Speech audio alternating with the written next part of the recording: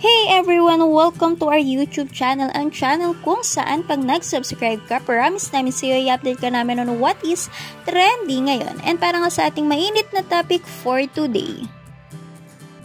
Yes, si Pressman pinakita na ang baby bump. Posible kayang buntis na, Coco magiging tatay na. Isang larawan ngayon ng aktres sa siya si Pressman ang tila nga ay kinagulat ng lahat.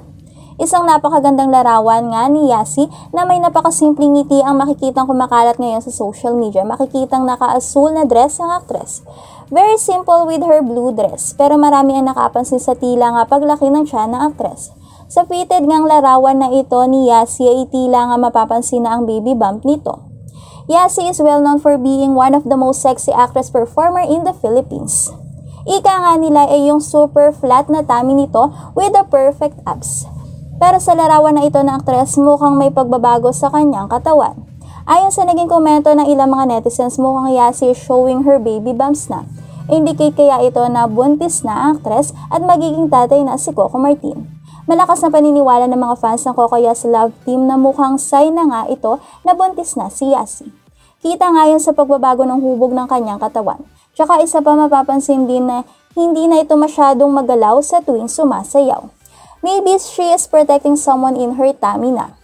Kaya bawal na itong masobrahan sa paggalaw. Ayon pa sa ilang fans ng aktres, mukhang isa nga din sa mga reason kung bakit napabalita noon na aalisin na ang karakter ni Yasi sa ang probinsyano dahil nga nagdadalang tao na ang aktres. Well, hindi naman imposibleng mangyari yon at hindi rin malabong magkaanak na ang dalawa.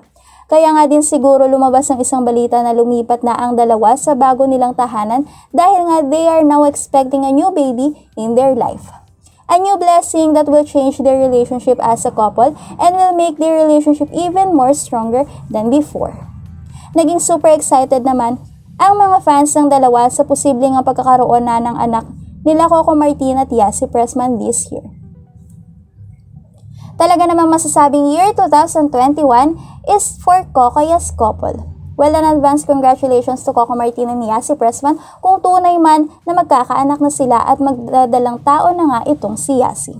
We wish na sana ay isang healthy baby ang magiging bunga ng inyong pagmamahalang dalawa. What's your opinion about this issue? Comment down below and don't forget to like, share, and subscribe. This is Trending ngayon.